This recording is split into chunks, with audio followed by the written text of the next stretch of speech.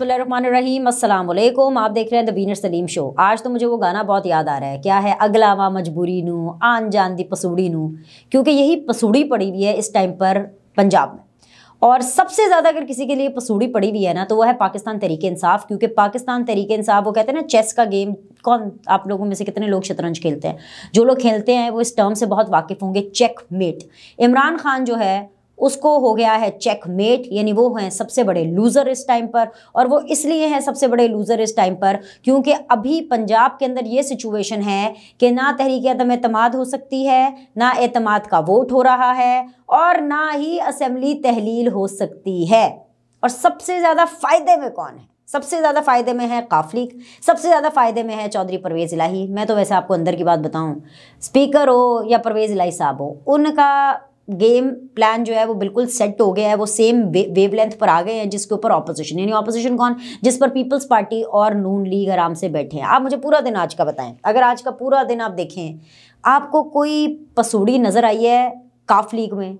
परवेज़ लाही साहब की तरफ़ से या किसी किस्म की कोई इस तरह का तासुर, कोई बयान, कोई ऐसी मीटिंग की खबर? हालाँकि पूरा दिन इजलास होता रहा कि जिससे पता चले कि जी काफ लीग के अंदर जो है ना कोई बड़ी टेंशन है। नहीं। पंजाब में चार जो बड़े स्टेक होल्डर्स हैं, वो क्या सोच रहे हैं, क्या हो रहा है, हम इस बारे में बात करेंगे। और मैं आपको ये भी बताऊँगी कि आज रात को बारह बजकर एक मिनट पर परवेज़ इलाही का फ्यूचर क्या होगा और बारह बजकर एक मिनट पर रात को पंजाब की असेंबली का चीफ मिनिस्टर कौन होगा?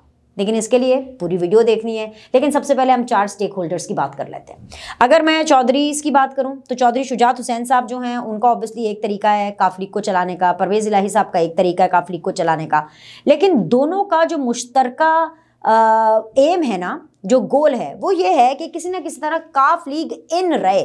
काफ लीग ने इस पंजाब की जो असेंबली है, उसमें उन्होंने हुकूमती बेंचेस पर बैठना है। ये चौधरी शुजात भी चाहते हैं और परवेज़ लाई साहब भी ये चाहते हैं।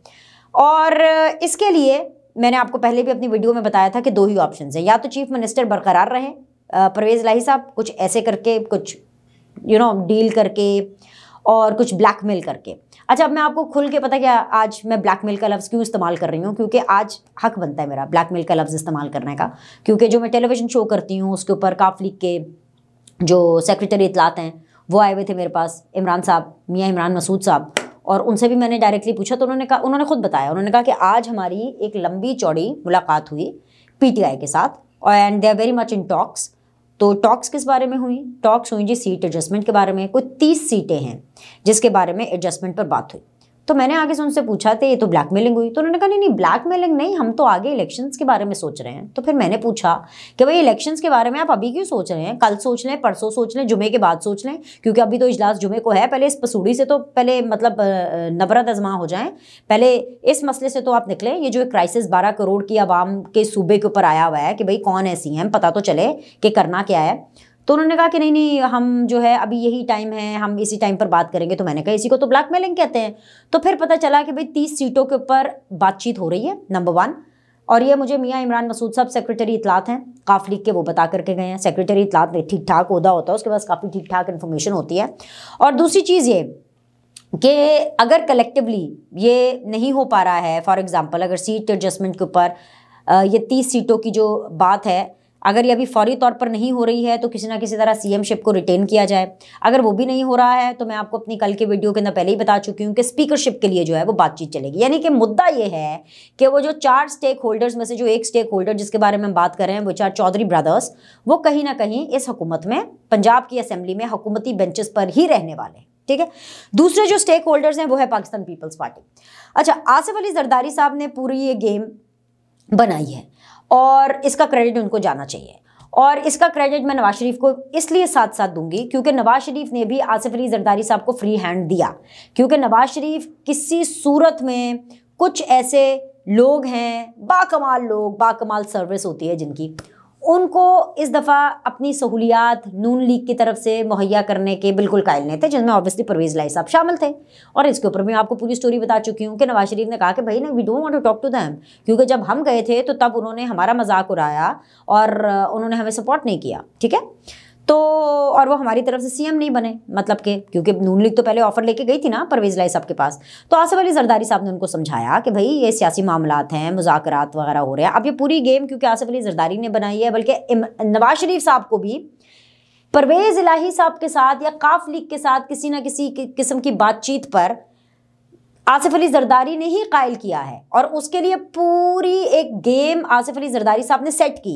यानी चौधरी शुजात साहब के साथ, फिर चौधरी शुजात साहब के साहबजादे सालिक हुसैन साहब, नवाज़ शरीफ साहब से मिलने गए। You know remember you all these things ना? मैं आपको अपडेट करती रही हूँ वफ्तन वफ्तन इस हवाले से।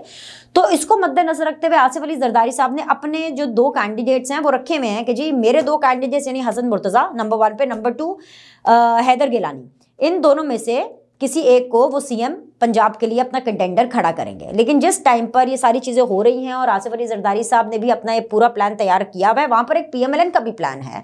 क्योंकि पीएमएलएन के पास अगर आप ऑन ग्राउंड बात करें, जहाँ पर काफ लीग सियासत कर रही है, आसिफ अली जरदारी जो है वो पूरी गेम बनाने में, सियासत करने में माहिर हैं। वहाँ पर पीएमएलएन के पास वो है जो काफ लीग और आसिफ अली जरदारी के पास पंजाब में नहीं है। और वो क्या है? वो है एम सबसे ज़्यादा एमपीएस नून लीग के पास हैं और इस टाइम पर लंदन में, आप देख रहे हैं ना, मरीम नवाज़ की खामोशी है, नवाज़ शरीफ की खामोशी है, लेकिन इसका ये मतलब नहीं है कि वो खामोश हैं और वो सब कुछ ऐसे करके फेंक देंगे कि जी, ये लो जी, पंजाब ले लो। वो भी इस चीज़ के ऊपर एडमेंट हैं और ज़रा खड़े में हैं कि भाई, सबसे ज़्यादा एम तो हमारे हैं। और असल में ये जो पूरी की पूरी गेम हो रही है, ये सिर्फ़ असेंबली को तहलील ना करने की वजह से हो रही है, सिर्फ़ इसलिए क्योंकि इस टाइम पर फौरी इलेक्शन कोई नहीं चाहता। टिड्डो ते इमरान खान भी नहीं चाहता कि इलेक्शन हो वो जैसे कहते हैं ना पंजाबी में, इमरान खान भी नहीं चाहते इलेक्शन हो। वो तो सिर्फ़ और सिर्फ़ ये ये ब्लैकमेल करने के लिए कर रहे थे और कर रहे हैं। परवेज इलाही भी नहीं चाहते कि असेंबली जो है तहलील हो। क्योंकि उस्मान बुजदार इतना बुरा नुकसान करके गए हुए हैं कि परवेज़ लाही साहब ने चार महीनों में जब से उनको वज़ी अला वज़ी अला बने हुए हुए हैं, उन्होंने फ़ंड्स जारी किए हैं, तरक्याती काम हो रहे हैं मतलब पंजाब की situation when it was under Usman Buzdar, उसके मुकाबले में अब काफ़ी हद तक बेहतर है, ठीक नहीं हुई है, लेकिन बहुत बेहतर है। उस्मान बुजदार ने तो नाक ही कटवाई है। वो वसीम अक्रम प्लस नहीं, वसीम अक्रम माइनस साबित हुआ असल में माइनस में। तो वो भी नहीं चाहते कि आप ये देखें इलेक्शन कमीशन भी इस पोजीशन में नहीं होगा, क्योंकि पैसे चाहिए फंड्स चाहिए, वो अलग बात है। इसाक साहब ने मुझे ही टेलीविज़न शो के अंदर इंटरव्यू देते हुए सीधी बात के अंदर उन्होंने कहा कि हम फंड्स नहीं रोकेंगे।